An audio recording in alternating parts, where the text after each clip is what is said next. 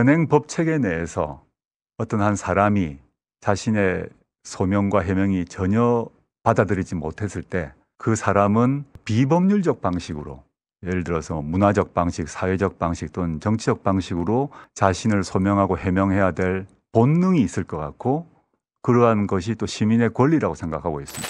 비법률적 방식으로 명예 회복, 뉴스 공장에 출연한 사실상 정치를 할 수도 있다는 출마 선언과도 같았던 조국 전 장관의 발언은 일파만파 민주진영의 큰 파장을 불러왔다.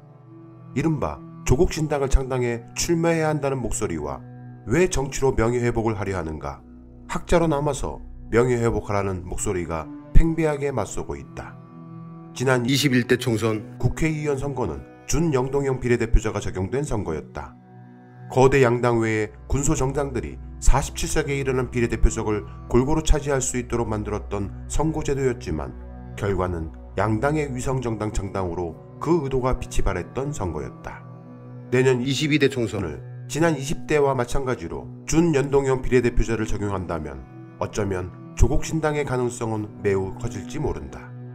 하지만 내년 4월 총선을 앞두고 국민의힘과 민주당이 비례대표 선거제도를 현행 준연동형에서 과거 병립형으로 되돌리기로 합의할 가능성이 매우 높아진 것으로 전해지고 있다. 이는 국민의힘이 위성정당을 전제로 한 현행 준연동형이나 과거 병립형 중 어느 쪽도 손해볼 곳이 없다며 선거법 협상에 미온적인 데다가 최근 병립형 회계 입장으로 강력하게 돌아선 탓이 크다. 국민의힘은 비례의석 완전 폐지를 주장할 정도로 비례대표 제도 자체에 부정적인 입장을 나타내며 준연동형에 거부감을 보여오다가 최근 준연동형 제도 아래에서 이준석, 유승민 신당의 가능성이 크게 부상하고 특히 이준석 전 대표가 연일 윤석열 체제에 적대적인 입장을 보임에 따라 병립형 회교 입장을 강화한 것으로 전해졌다. 또한 민주당 역시 다음 총선에서 현행 제도가 유지될 경우 위성 정당을 설립하지 않겠다고 공언했지만 지난 총선에서의 열린민주당과 같은 민주당의 우호적인 대안 세력이 미약하고 최근 조국 신당의 가능성이 점쳐지면서 민주진영의 괜한 분열이 촉발될 우려가 깊어 국민의힘의 병립형 회귀 움직임에 힘을 싣고 있는 것으로 보인다. 민주당은 조국 신당이 만들어질 경우 윤석열 대 이재명 선거 구도를 윤석열 대 조국 구도로 변화시켜 윤석열 심판의 프레임을 흐리게 할 것으로 우려하고 있는 것이다. 민주당 내부에서는 이탄희 의원과 비명계 의원들이 정치개혁 후퇴를 이유로 병립형 회교를 공개적으로 반발하면서 외부로 표면화하고 있지만 지도부에서 이미 병립형 회교로 잠정 결정했다는 얘기까지 흘러나오고 있다. 최근 국회의원직을 걸겠다며 비례성 강화를 주장하고 나선 이탄희 의원과 비명계 의원들은 정치개혁 후퇴를 명분으로 이에 노골적으로 반발하고 나선 것도 당 지도부의 병립형 회계 방침이 사실상 굳어진 것으로 해석하는 분위기에 따른 것이다.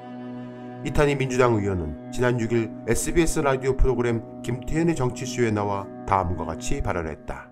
병립형 선거제도의 다른 이름은 양당 카르텔법이에요. 음. 3당, 4당, 5당은 씨가 마르는 거죠. 예. 국민들의 선택권이 제한되고요. 예. 경쟁자들이 차단돼 버립니다. 예. 국민의힘의 어떤 이 병립형 제한이 사실은 민주당 입장에서는 유혹이거든요. 근데 어. 정치인들이라고 하는 게 사실 국민들한테 한 약속보다 눈앞에 이익에 흔들릴 수도 있는 것이기 때문에 예. 절대로 그러지 말자라는 취지로 제가 나와서 말씀을 드리는 겁니다. 대표적인 비명계 의원인 민주당 김종민 의원은 7일 자신의 SNS를 통해 선거제 퇴행, 가서는 안 되는 길, 유불리 잊어버리고 약속 지켜야 한다며 국회의원 선거제는 지난 20년 정치개혁의 수건이었다. 어떤 경우든 개혁을 향해 한 발이라도 앞으로 나가야 한다. 그게 국민에 대한 도리라고 했다. 국민의힘으로 하여금 병립형 회귀를 강력하게 선호하게 만든 이준석 전 국민의힘 대표는 서울 강서구 패배 이후 반윤석열 노선을 분명히 하면서 신당 추진을 기성사실화하고 있다. 이준석 전 대표는 지난 5일 신당 창당과 관련해 비명계를 포함해 진보정당 계열 인사들과 교류하고 있다며 이미 실무적 준비까지 하고 있다고 밝혔다.